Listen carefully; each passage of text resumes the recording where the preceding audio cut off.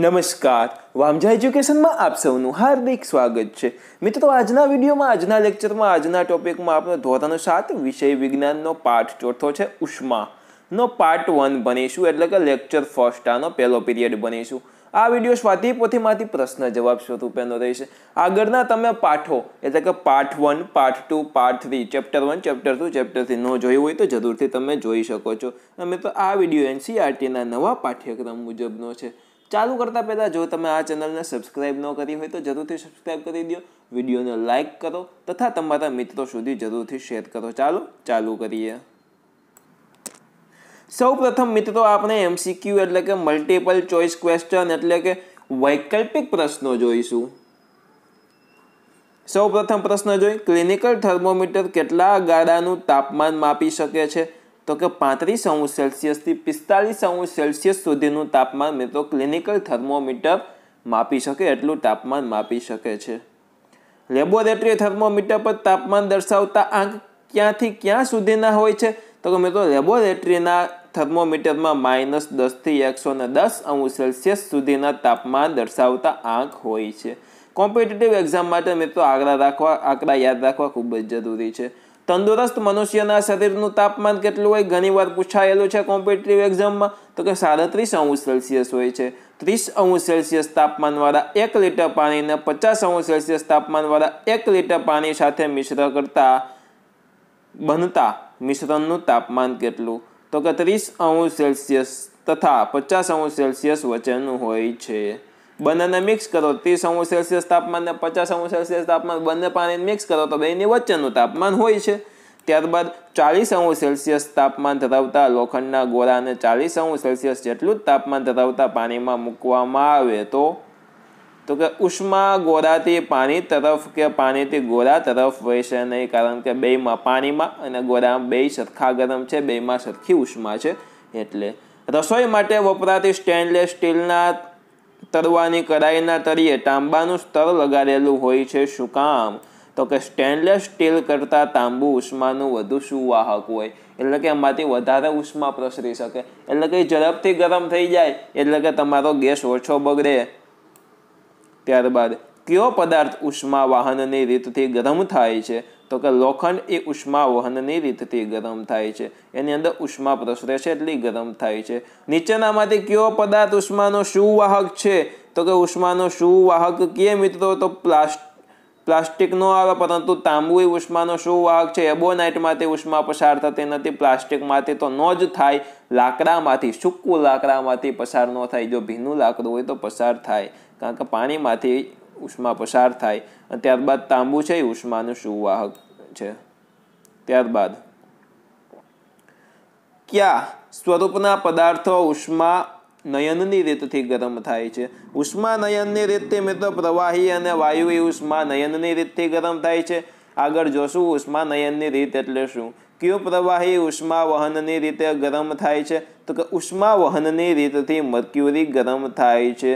ત્યારબાદ સૂર્યની ગરમી આપણા સુધી ઉષ્માના કયા પ્રસરણથી પહોંચે છે? તો કે ઉષ્મા વિકિરણથી, વિકિરણોથી આપણા સુધી પહોંચે છે. આગળમાં અમુક વસ્તુ તમને અહીંયા ન સમજાવી તો આગળમાં દરેક પ્રશ્ન જવાબ જોશું. એમાં ડિટેલમાં દરેક વસ્તુ આવી જશે ને હું દરેક વસ્તુ સમજાવીશ પર્સનલી ચાલો આપણે આગળ જોઈએ.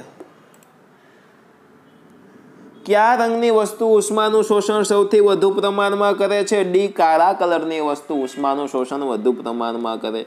મિત્રો તમે જોયું હોય. ઉનાળામાં તમે કાળા કપડાં પહેરીને બહાર જાઓ તો ઘરેથી મમ્મી પપ્પા એમ કે ઉનાળામાં કાળા કપડાં ન પહેરાય, સફેદ પહેરાય. કારણ કે કાળા કલરના કપડાઓ ઉષ્માનું શોષણ કરે. એટલે કે મિત્રો, એ ઝડપથી આપણને ગરમી લાગે, ગરમ થાય. પરંતુ સફેદ કલર હોય, ઉષ્માનું સૌથી ઓછું શોષણ કરે છે. એટલે સફેદ કલર ઉષ્માનું સૌથી ઓછું શોષણ કરે. કાળું કલર ઉષ્માનું સૌથી વધારે શોષણ કરે. એમ આપણે આમાં યાદ રાખીશું. નીચેના પ્રશ્નોના માત્ર ઉત્તર લખવાના છે. એક એક શબ્દમાં પદાર્થનું તાપમાન માપવા માટે કયા સાધનનો ઉપયોગ થાય? થર્મોમીટર સાવ સહેલી વસ્તુ છે. હવામાન સમાચારમાં આગળના દિવસનું મહત્તમ તથા લઘુત્તમ તાપમાન દર્શાવવામાં આવે તો કયા થર્મોમીટર વડે માપેલું હોય? મિત્રો, હવામાનનું તાપમાન માપવું હોય તો મહત્તમ લઘુત્તમ મીટર થર્મોમીટર વડે આપણે દર્શાવવું પડે. ત્યારબાદ કઈ ધાતુમાં ઉષ્મા વહનની રીતે ઉષ્માનું પ્રશ્ન સૌથી વધુ ઝડપે થાય છે? તો કે તાંબામાં. મિત્રો, શેમાં? તો કે તાંબામાં. ત્યારબાદ, પોટેશિયમ પરમેગેનેટ ઓગારેલા પાણીનો રંગ જડાવો પોટેશિયમ પરમેગેનેટ ઓગારેલા પાણીનો રંગ જડાવો પાણીમાં પોટેશિયમ પરમેગેનેટ ઓગાડો તો કેવા કલરનું પાણી થાય? તો કે જાંબલી કલરનું થાય. સમુદ્ર કાંઠાના વિસ્તારોમાં દરિયાઈ લહેર અને ભૂમિય લહેરોની, લહેરની ઘટના ઉષ્માના પ્રસરણની કઈ રીતના આભારી છે? તો કે ઉષ્મા નયનની રીતના આભારી છે કઈ?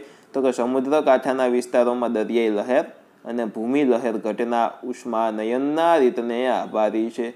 આ બધી ઉષ્માની અલગ અલગ ઘટનાઓ છે. તાપમાનનો એકમ જણાવો. તો કે અંશ સેલ્સિયસ અથવા તો અંશ ફેરનહીટ, આ બંને તાપમાનનો એકમ છે. સેલ્સિયસને કેપિટલ સી વડે લખીએ, ફેરનહીટને કેપિટલ એફ વડે લખવામાં આવે છે.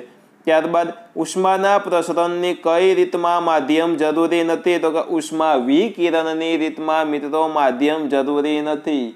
અવકાશમાં તમે જાઓ તો ઉષ્મા પ્રસરણ થઈ શકે નહીં, પરંતુ જો ઉષ્મા વિકિરણની રીતે ઉષ્મા પ્રસરણ કરવાની વાત થાય તો થઈ શકે. સૂર્ય અને પૃથ્વી વચ્ચે શૂન્ય અવકાશ છે, એક પણ જાતનું માધ્યમ નથી, તો પણ સૂર્યના કિરણો પૃથ્વી સુધી પહોંચે છે.